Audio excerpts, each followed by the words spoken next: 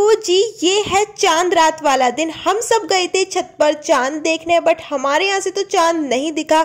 आप में से किस किस ने चाँद देखा, मुझे कमेंट करके ज़रूर बताना। और फिर मैंने ये दूसरे रोज़े से अपना व्लॉग कंटिन्यू किया है। पहले रोज़े का तो मैंने कुछ भी नहीं बनाया था। आप मुझे कमेंट करके ज़रूर बताना कि पहला और दूसरा रोज़ा आपका कैसा रहा। आई होप सबका अच्छा ही रहा होगा।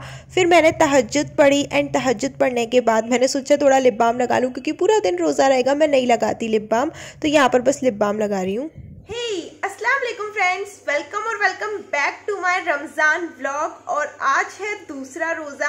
पहला रोज़ा तो मेरा नहीं था और अभी चार बज रहे हैं तो पहले सैरी कर लेते हैं, फिर आपसे मिलते हैं। वैसे अभी ना सुबह सुबह मेरा ज़्यादा बोलने का भी मन नहीं कर रहा है तो सैरी करके फिर आपसे मिलती हूँ।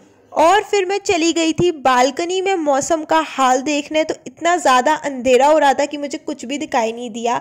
और मौसम तो काफ़ी अच्छा हो रहा था थोड़ा थोड़ा ठंडा ठंडा सा हो रहा था तो बहुत अच्छा लगा था। फिर आकर मैंने सहरी की चाय पी मतलब चाय तो बहुत ज़्यादा इंपॉर्टेंट है, फिर मतलब मन करता है चाय पीने का तो सुबह सुबह और फिर यहाँ पर मैंने पनीर की सब्ज़ी रोटी खाई थी एंड ये कुछ बिस्किट्स खाए थे और फिर उसके बाद यहाँ मैं ग्रैप्स धो रही थी, मैंने थोड़े से ग्रैप्स भी खाए थे।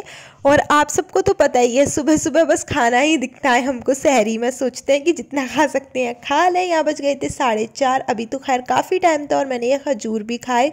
और फिर जब शहरी का टाइम ख़त्म हो गया, फजर भी पढ़ ली थी मैंने, तब मैंने बाहर जाकर देखा तो थोड़ी सी रोशनी आ गई थी बट सूरज नहीं निकला था। फिर मैं जाकर सो गई थी, फिर मैंने कुछ भी शूट नहीं किया। काफ़ी देर सोई में, बहुत देर में उठी थी। और फिर हमारी इफ्तारी की प्रिपरेशन चालू हो गई थी। इफ्तारी में मैंने पोहे बनाए थे, बाकी हलवा, पापड़ वगैरह सब था। और आप इस रमज़ान जितनी ज़्यादा इबादत कर सकते हैं, जितनी ज़्यादा दुआएँ कर सकते हैं अपने लिए और बाकी सबके लिए। खूब दुआएँ करें, खूब इबादतें करें। अल्लाह ताला आप सबकी दुआओं को और इबादतों को कबूल करें। अब मिलती हूँ मैं आपसे नेक्स्ट व्लॉग में। तब तक के लिए अपना ख्याल रखिएगा और खूब अच्छे से रोज़े रखिएगा। अल्लाह हाफिज़।